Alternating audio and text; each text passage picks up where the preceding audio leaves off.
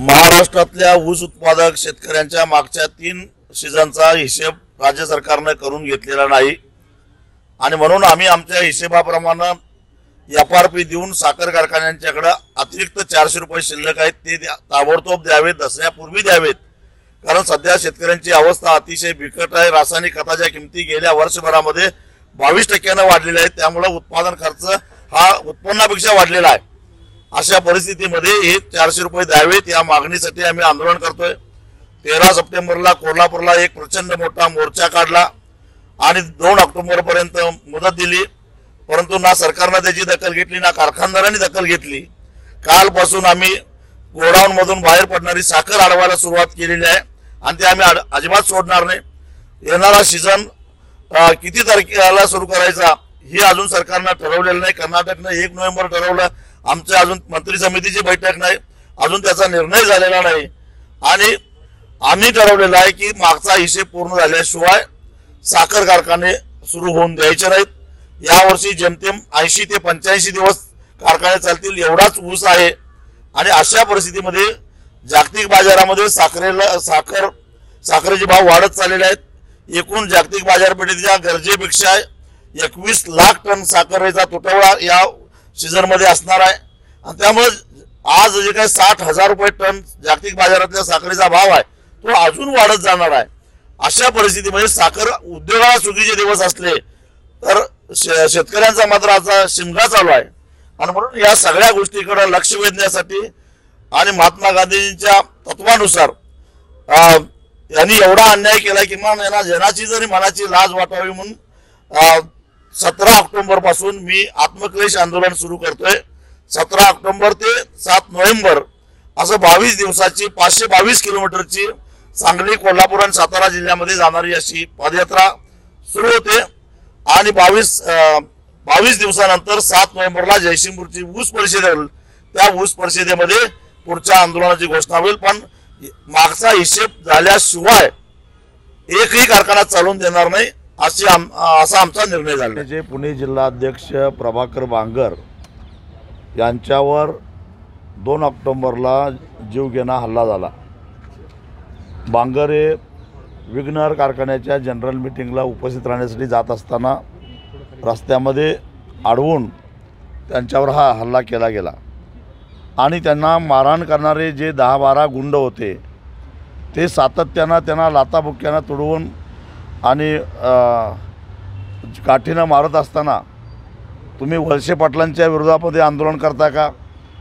या परिसरामध्ये एकदाही आंदोलन झालेलं नसताना तुम्हाला एवढी हिंमत झालीच कशी? देवेंद्र शहा म्हणजे तुम्हाला कोण वाटले? देवेंद्र शहाची कळ काढाल तर याद राखा अशा प्रकारच्या धमक्या देत देत जवळपास अर्धा तास ही मारहाण चालू होती. त्यांच्याबरोबर असणारे बांगर यांच्यावर असणारे वनाजी बांगर माझ्यावर आता इथं आलेले आहेत. त्यांनाही मारहाण केली. आणि त्यांना सांगितलं की तुम्ही जर कुणाला सांगाल तर तुमची अशीच अवस्था करू. आणि भीती भीतीनं ते पळून गेलेलं असताना रस्त्यावरून जाणाऱ्या वाटसरूंनी त्यांना वाचवण्याचा प्रयत्न केला. तर त्यांनासुद्धा बेदम मारहाण करून तिथून पळवून लावलं.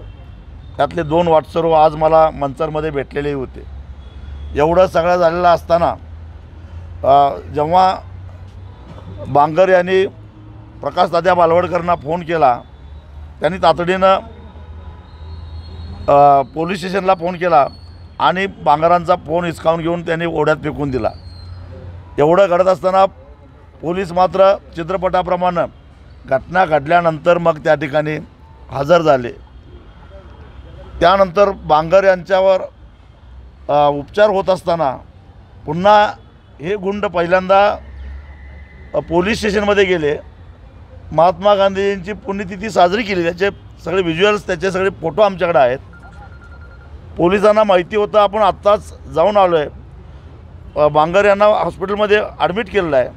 बांगर शुद्धीत होते त्यामुळे त्यांनी आ- कोणी आरोपींना ओळखत होते.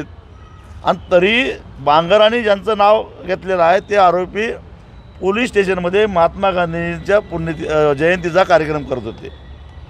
आणि त्यानंतर केवळ बांगर यांनी आणि त्यांच्यावर असणाऱ्या प्रत्यक्ष प्रत्यक्षदर्शी वनाजी बांगर यांनी वळसे पाटलांचं आणि देवेंद्र शहाचं नाव घेतलं म्हणून य फिर्याद घ्यायला दोन दिवस टाळाटाळ केली. काल मंचरमध्ये जवळजवळ चार पाच हजार लो लोकांनी एकत्रित येऊन त्यांच्यावर फिर्याद दाखल केल्याशिवाय आम्ही पोलीस स्टेशन सोडणार नाही अशी भूमिका घेतल्यानंतर काल दुपारी ही फिर्याद दाखल झाली. परंतु आरोपी मोकाट फिरत होते. या आरोपींना एवढा मास की या प्रभाकर बांगरना भीती घालण्यासाठी म्हणून जाणीवपूर्वक ते त्या हॉस्पिटलमध्ये जात होते. आणि एवढं मारूनसुद्धा आम्हाला काही केलेलं नाही असं जणू काही त्यांना सांगायचं होतं. मी आज दुपारी गेलो होतो. त्याही वेळा त्या ठिकाणी त्या गर्दीमध्ये ते आरोपी होते असं मला सांगितलं गेलं. मी याचा जाब जिल्हा पोलीस प्रमुखांना विचारला. जर राजरोसपणानं अशा पद्धतीनं आरोपीत जर का मोकाट फिरत असतील आणि पोलिसांना सापडत नसतील तर मग नेमकं राज्य कुणाचं आहे? वळसे पाटलांचा एवढा जर का पोलिसांच्यावर दबाव असेल तर मग फक्त आजपर्यंत आम्ही कायद्याचा आदर राखला. कायदा कायद्याचं काम करेल म्हणून आम्ही संयम बाळगला. जर असंच घडणार असेल तर ठीक आहे आम्हीच कायदा हातात घेतो आणि त्या आरोपींचा बंदोबस्त करतो. त्या आरोपीचा आरोपींचा बंदोबस्त करणं हे स्वाभिमानी शेतकरी संघटनेच्या डाव्या हाताचा खेळ आहे. पण आम्ही कधी कायदा मोडला नाही. कायद्याचा आदर केला आम्ही. मग एवढं सांगत असताना लगेच तातडीनं जिल्हा पोलीस प्रमुख म्हणले की दोन आरोपी सापडलेले आहेत. बाकीच्यांची प- पकड आम्ही करतो. मला वळसे पाटलांना एवढंच सांगायचं आहे. अशा पद्धतीनं गुंडागर्दी करून तुम्ही जर का ऊसाचा दर न्याय्य पद्धतीनं सविनय कायदेभंग करून मागणाऱ्या कार्यकर्त्यांना जर का गुंड घालून मारणार असाल तर मी त्या बांगरना घेऊन तुमच्या दारात येतो. हिंमत असेल तर त्याला हात लावून दाखवा. आणि वळसे पाटील साहेब तुम्हालाही महाराष्ट्रभर फिरायचं आहे. हे विसरू नका. तुम्ही जर का स्वाभिमानीच्या एका जरी कार्यकर्त्याला धक्का लावला तर तुमची गाडी सुरक्षितपणानं फिरणार नाही. हेही लक्षात ठेवा. राज्याचे गृहमंत्री क मंत्री कर्तबगार आहेत. परंतु कदाचित पुण्यात त्यांचं काय चालत नसावं. नाही हे हे सरकार बरखास्त नाही याला फेकून द्यायच्याच लायकीचं आहे. काही कुणाचंच काही काम होत नाही कुणालाच काही न्याय मिळत नाही. आणि हे जे मंत्री संत्री आहेत हे जर काय गुंडागर्दी करत असतील मा मारहाण झाल्यानंतर तीन तीन दिवस जर फिर्याद देख दाखल होत नसेल तर काय कायदा आणि सुव्यवस्थेचे द- निघत निघतात या महाराष्ट्रामध्ये? आणि अशा प्रकारचं कारभार करत असाल तर जनता का गप्प बसावी? गेल्या पंधरा दिवसापासून आम्ही दुष्काळ जाहीर करण्याची मागणी करतो आहे मी मराठवाड्यामध्ये दौरा काढू करून आलेलो आहे. परिस्थिती अशी आहे की लांबून बघितलं तर शेतामध्ये हिरवं पीक दिसतं. पण सोयाबीन असेल भुईमुग असेल किंवा कापूस असेल त्याला जर फळच नसेल पीकच नसेल तर ते हिरवं पीक घेऊन करायचं काय? आता ते काढायचा खर्चसुद्धा शेतकऱ्याला परवडत नाही. आणि पी शेतात उभं पीक आहे म्हणून सरकारचे अजून पंचनामे व्हायचे आहेत. विम्याचे पैसे किती मिळणार हे अजून ठरत नाही आहे विमा कंपन्यासुद्धा काही ठिकाणी खरं तर पंचवीस टक्के अग्रिम रक्कम द्यायची बंधनकारक असताना कुठं तीन हजार कुठं पाच हजार एकूण सोयाबीनसारख्या पिकाला तेरा साडेतेरा हजार रुपये देणं लागत असताना या कंपन्या केवळ तीन आणि चार हजार रुपये शेतकऱ्यांच्या हातामध्ये टिकवतात. या कंपन्यांचा कान धरून मानगूट धरून त्यांच्याकडून पैसे वसूल करून घेणं हे सरकारचं काम आहे. पण इथंसुद्धा सरकार कमी पडताना दिसतंय. कालपासून माध्यमातून आम्ही बघत होतो कुणी रुसलं आहे कुणी दिल्लीला गेलं आहे कुणी इथंच बसलं आहे त्याच्या बातम्या काल दिवसभर वाचल्या तर तो रुसवा कशासाठी होता त्याचा उलगडा आज झाला. तसंच आमच्या कोल्हापूरचे पालकमंत्री इचलकरंजीला येणार होते परंतु अचानकच आता पालकमंत्री बदलल्यामुळे तेही रुसले तेही यायचं बंद झाले.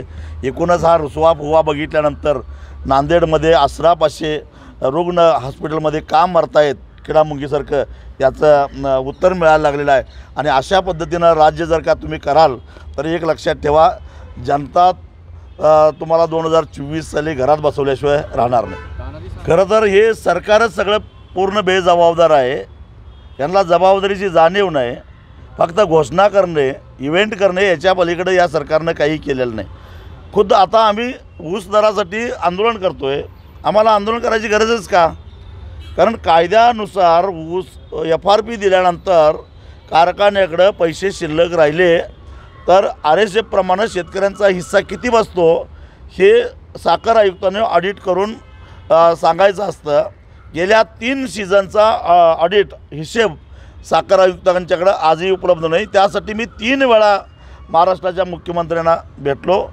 पण साखर कारखानदारांना पाठीशी घालण्यासाठी ऊस उत्पादक शेतकऱ्यांचे ह हजारो कोटी रुपये जर का हे देत नसतील तर मग दवाखाने असेच होणार? ऊस उत्पादक शेतकरी रस्त्यावर येणार कायदा आणि सुव्यवस्थेचे दिंडवडे निघणार. मुळामध्ये हे सरकार हे फक्त अधिकाऱ्यांच्या बदल्या करणं आणि त्याच्यामध्ये पैसा कमावणं ह्याच्या पलीकडे काय करतं आहे असं मला वाटत नाही. मी आधीच म्हटलं की या महाराष्ट्रामध्ये कुठलाही घटक समाधानी नाही आहे सगळे अस्वस्थ आहेत. असंतोष प्रचंड भरलेला आहे. आणि मग तात्पुरतं खुश करण्यासाठी काहीतरी लॉलीपॉप दिल्यासारखं कुठली तरी घोषणा करायची. पण कालांतरानं ती घोषणा किती फोल होती हे लक्षात येतं आहे पुन्हा आंदोलनं उभा राहतात पुन्हा मोर्चे निघतात. असंच फक्त टाईमपास करायचं वेळ काढायचा हेच हे लोक करत आहेत